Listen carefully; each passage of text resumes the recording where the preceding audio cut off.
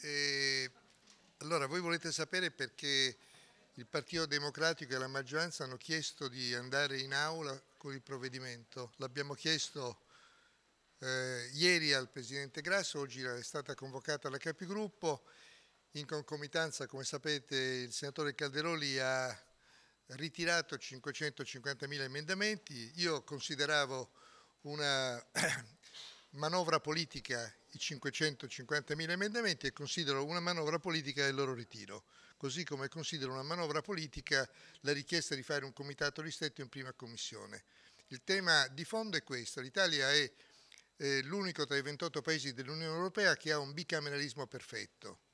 Eh, e fa parte del programma della maggioranza che sostiene il governo far cessare questa anomalia che consideriamo pesi sul funzionamento delle istituzioni democratiche. E il Parlamento ha già esaminato per due volte il, il provvedimento, io penso che ora, fosse ora di farla finita con questo andirivieni di, di centinaia di migliaia di emendamenti, non sappiamo cosa succederà in aula perché ne sono stati minacciati milioni di emendamenti e mi auguro che questo non accada